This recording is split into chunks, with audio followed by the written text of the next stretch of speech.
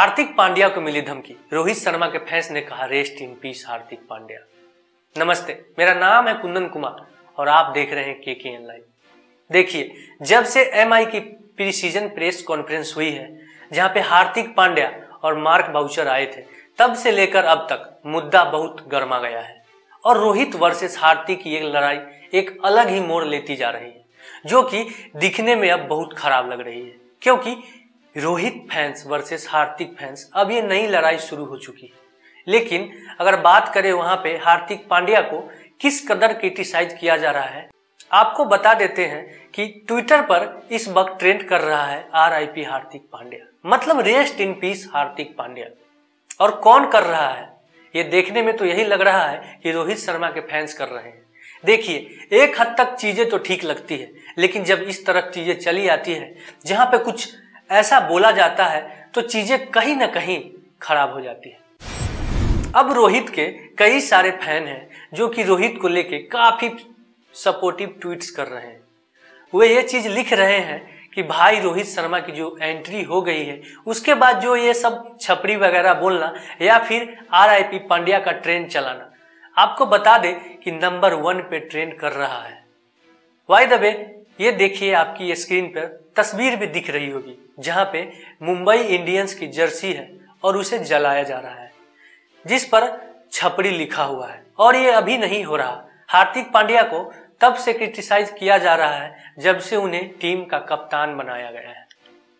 And even अगर बात करें, जब से उन्हें टीम में लाया गया है, क्योंकि रोहित शर्मा को वहाँ पर कप्तानी से हटाया गया।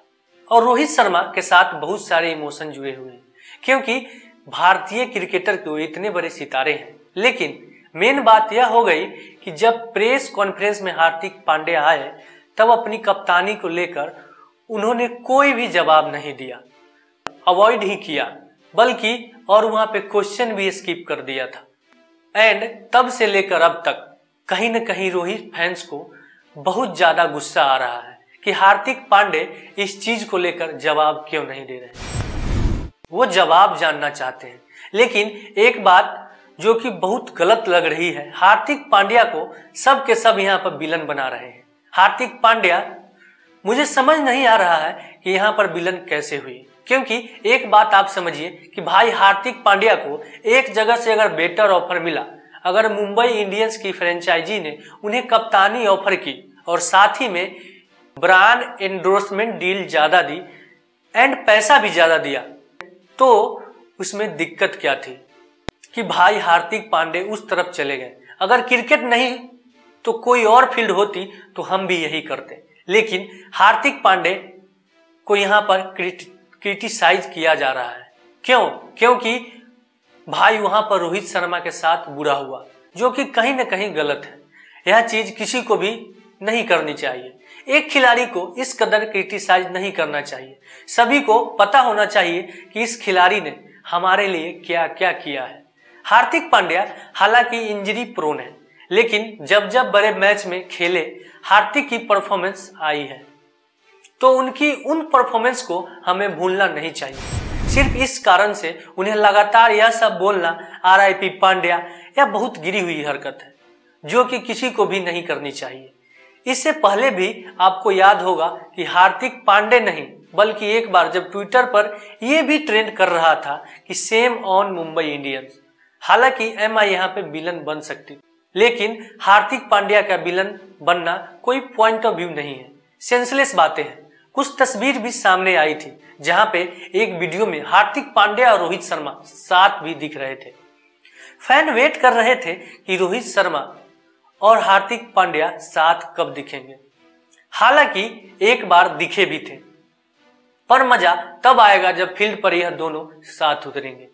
एंड वहाँ पर देखने वाली बात होगी कि क्या वहाँ पर दोनों के बीच में एक रिफ्ट होगा, या फिर वहाँ पर दोनों के दोनों साथ होके खेलेंगे। हालाँकि हार्दिक पांडे ने चीज़ कह दी है कि रोहित शर्मा की बैकिंग है। रोहित शर्मा की बैकिंग हमेशा रहेगी। जब वो फ़ील्ड पर उतरेंगे क्योंकि रोहित शर्मा एक एक्सपीरियंसेस कप्तान है, जिनकी ज़रूरत पड़ेगी हार्दिक पांड्या को। हार्दिक पांड्या एक्सेप्ट कर रहे हैं कि कुछ एक्सपीरियंसेस खिलाड़ी हैं जिनकी बैकिंग उन्हें चाहिए। हालाँकि अभी तो रोहित शर्मा के अगेंस्ट वो कुछ बोल भी नहीं सकते। जो भी होगा, इंटरनल लड़ाइयाँ हैं। बाहर आप दुनिया को दिखा नहीं सकते, लेकिन असली खबर तो मुंबई इंडियंस के फ्रेंचाइजी और ड्रेसिंग रूम में चल रही होगी। लेकिन इस पूरे मुद्दे पे आपका क्या पॉइंट ऑफ़ व्यू है? क्या इस तरह से R I P Pandya trend करना रोहित फैंस के लिए सही है या नहीं? कमेंट सेक्शन में ज़रूर बताइएगा। लेकिन अभी के लिए इस वीडियो में इतना ही। जय हिंद, जय भारत, धन्यवाद।